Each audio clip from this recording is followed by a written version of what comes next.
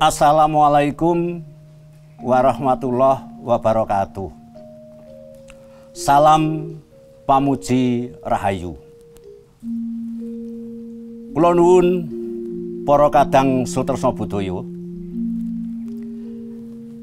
Ing mriki kawedanan ageng punakawan Krida Mardawa, Karaton Ngayogyakarta Hadiningrat. Badhe hangaturaken sekedhik pangertosan babagan tembang macapat. Ing saklebeting kawruh olah tembang Jawi. Wonten tigang tataran olah tembang utawi sekar. Inggih menika sekar alit, sekar tengahan, lan sekar ageng. Ing saklebeting sekar alit wonten 11 tembang. Inggih menika setunggal mijil. Kalih kinanti tiga sinom sekawan asmarandono. Gangsal gambuh. Enam dandang gula pitu durma wolu pangkur songo megatruh sedasa pocung lan sewelas mas kumambang cacah sewelas tembang kala wau ingkang dipun wastani Sekar Mocopat.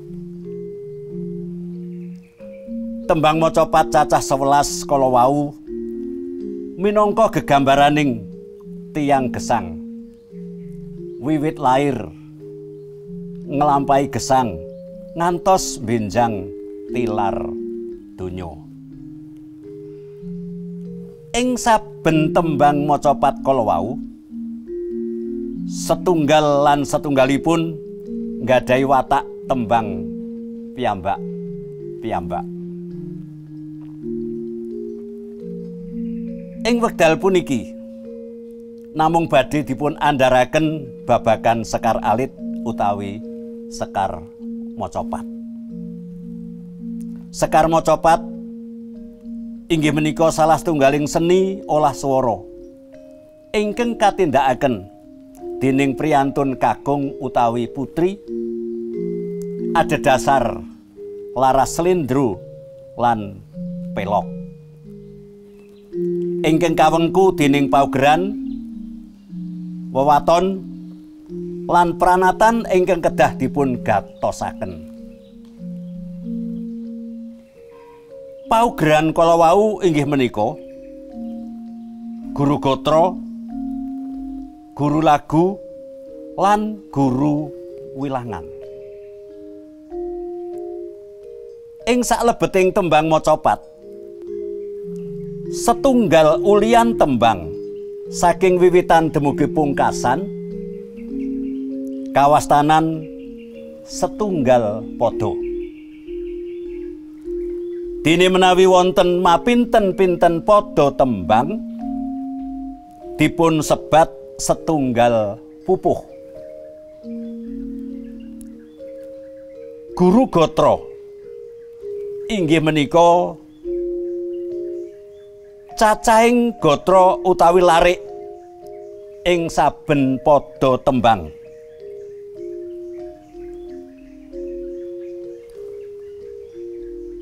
Guru lagu inggih menika tibaning swara utawi dongding ing saben pungkasaning gotra. Guru wilangan inggih menika cacahing wanda ing saben gotra. Ing peranatan lampahipun tembang macapat katindakaken kanthi prasaja. Lugu. Pedotan anut tembung. Anut laguning tembang. Mboten kekataan lo gregel. Lan ugi wiledan. Cengkok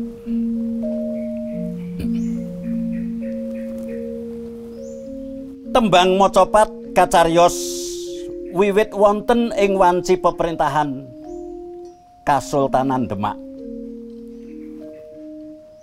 Karipta dening para ulama utawi para wali.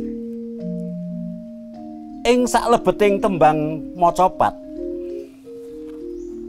ngemot pitedah-pitedah carios awisan paugeran agami lan ugi tata susila gesanging manungsa.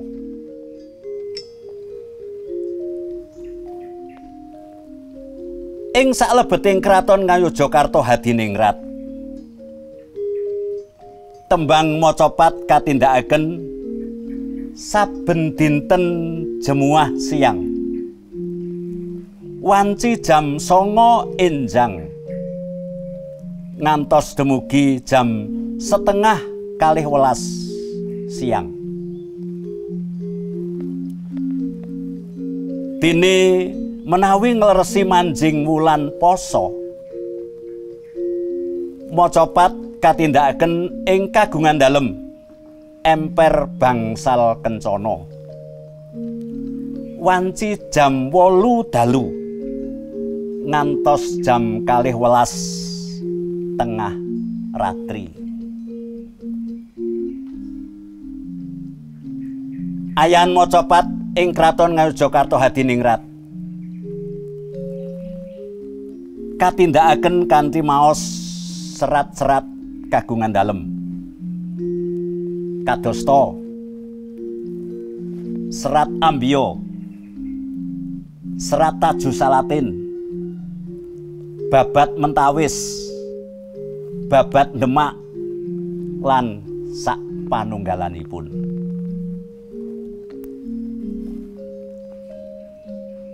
Para sutresna budaya mekaten ingkang saged kaaturaken babagan kawruh sekar macapat. Mugi-mugi saged migunani tumrap sedaya ingkang gegulang olah tembang macapat.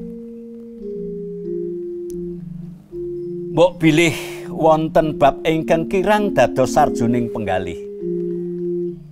Kepareng nyuwun pangaksama. Ing wusana kaaturaken matur nuwun. Wassalamualaikum warahmatullahi wabarakatuh.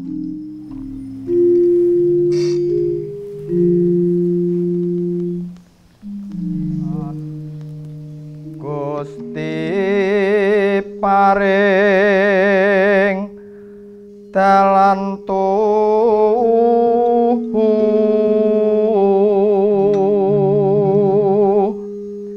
mring sapa kang gelem dah